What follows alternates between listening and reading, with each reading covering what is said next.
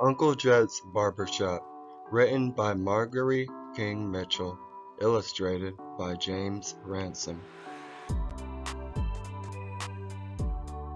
Jedediah Johnson was my granddaddy's brother. Everybody has their favorite relative. Well, Uncle Jedediah was mine. He used to come to our house every Wednesday night with his clippers. He was the only black barber in the county.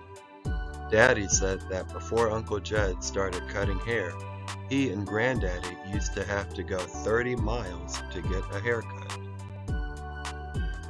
After Uncle Jed cut my daddy's hair, he lathered a short brush with soap and spread it over my daddy's face and shaved him. Then he started over on my granddaddy. I always asked Uncle Jed to cut my hair, but Mama wouldn't let him. So he would run the clippers on the back of my neck and just pretend to cut my hair. He even spread lotion on my neck. I would smell wonderful all day. When he was done, he would pick me up and sit me on his lap and tell me about the barber shop he was going to open one day and about all the fancy equipment that would be in it. The sinks would be so shiny they sparkled the floors so clean you could see yourself. He was going to have four barber chairs, and outside was going to be a big, tall, red and white barber pole. He told me he was saving up for it. He had been saying the same thing for years. Nobody believed him. People didn't have dreams like that in those days. We lived in the South. Most people were poor. My daddy owned a few acres of land and so did a few others, but most people were sharecroppers. That meant they lived in a shack and worked somebody else's land in exchange for a share of the crop. When I was five years old, I got sick.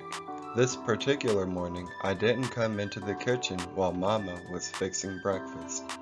Mama and Daddy couldn't wake me up. My nightgown and bedclothes were all wet where I had sweated. Mama wrapped me in a blanket while Daddy went outside and hitched the horse to the wagon. We had to travel about 20 miles into town to the hospital. It was midday when we got there. We had to go to the colored waiting room. In those days, they kept blacks and whites separate. There were separate public restrooms separate water fountains, separate schools. It was called segregation. So in the hospital, we had to go to the colored waiting room. Even though I was unconscious, the doctors wouldn't look at me until they had finished with all the white patients. When the doctors did examine me, they told my daddy that I needed an operation and that it would cost $300. $300 was a lot of money in those days. My daddy didn't have that kind of money, and the doctors wouldn't do the operation until they had the money. My mama bundled me back up in the blanket and they took me home. Mama held me in her arms all night. She kept me alive until Daddy found Uncle Jed. He found him early the next morning in the next county on his way to cut somebody's hair. Daddy told him about me. Uncle Jed leaned on his bent cane and stared straight ahead. He told Daddy that the money didn't matter. He couldn't let anything happen to his Sarah Jean. Well, I had the operation. For a long time after that, Uncle Jed came by the house every day to see how I was doing. I know that $300 delayed him from opening the barber shop. Uncle Jed came awfully close to opening his shop a few years after my operation. He had saved enough money to buy the land and build the building, but he still needed money for the equipment. Anyway, Uncle Jed had come by the house. We had just finished supper when there was a knock on the door. It was Mr. Ernest Walters, a friend of Uncle Jed's. He had come by to tell Uncle Jed about the bank failing. That was where Mr. Walters and Uncle Jed had their money. Uncle Jed had over $3,000 in the bank, and it was gone. Uncle Jed just stood there a long time before he said anything.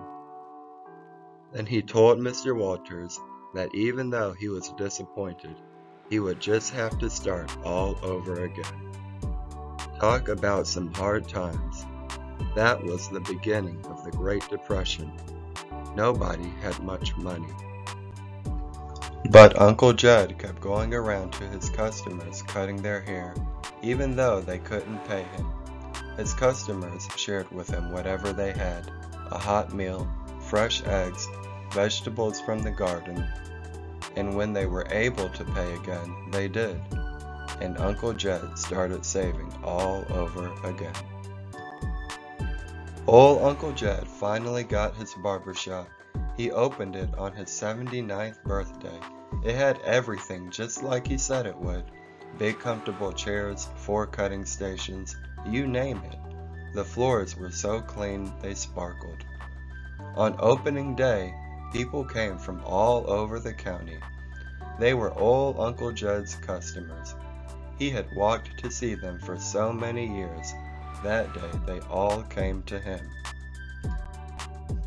I believe he cut hair all night and all the next day and the next night and the day after that. That man was so glad to have that shop, he didn't need any sleep. Of course I was there too. I wouldn't have missed it for the world. When I sat in one of the big barber chairs, Uncle Jed patted the back of my neck with lotion like he always did. Then he twirled me round and round in the barber chair. Uncle Jed died not long after that, and I think he died a happy man. You see, he made his dream come true even when nobody else believed in it. He taught me to dream too. The narration and production of this video was produced by Johnny Bell Books.